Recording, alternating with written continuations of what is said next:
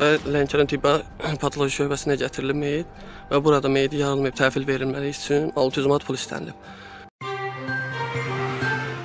Kanalımıza müraciət edən Lənkəran rayon sakini Elgün Şərifzadə deyir ki, onun qohumu avtoqəza nəticəsində dünyasını dəyişib. Daha sonra meyit meyidlərin tibbi ekspertiza və patoloji anatomiya birliyinin Lənkəran rayon şöbəsinə gətirilib. Həkimlər Dadaşova Gövhər Ağarıza qızının meyidinin yarılmadan təhvil verilməsi üçün ölən şəxsin yaxınlarından 600 manat pul istəyib. Artıq meyidi 4 saatdır ki, həkimlərin ailəyə təhvil vermədiyini bildirir şikayətçi və aidiyyatı qurumlara müraciət edərək bu qanunsuzluğun qarşısının alınmasını xahiş edir. Lənkəran rayon patoloji şöbəsi mən ölən yaxını Şərifzadə Elgün Bəhramoğlu.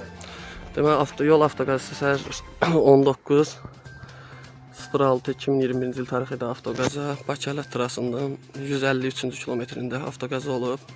Avtomobili idarə edən ölən şəxsin həyat yoldaşı Dadaşov Tapdıq Əvəzoğlu. Avtomobildə vəfat edən Dadaşov Gövhər Ağarıza qızdır.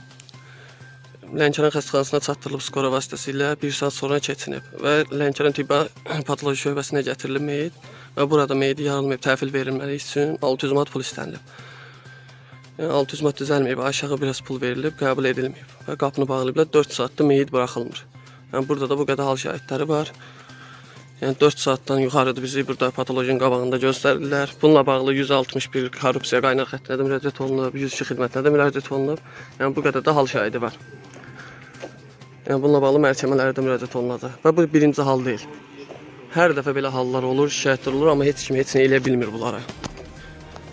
Bu nədirsə, bunların arxasında kim durursa, xahiş edirik bunu bir dövlət başçısına da müraciət olunacaq.